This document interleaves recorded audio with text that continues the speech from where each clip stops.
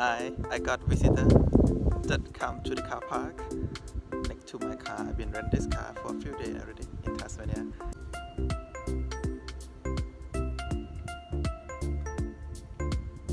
Sorry, I didn't have any food for you today. I didn't bring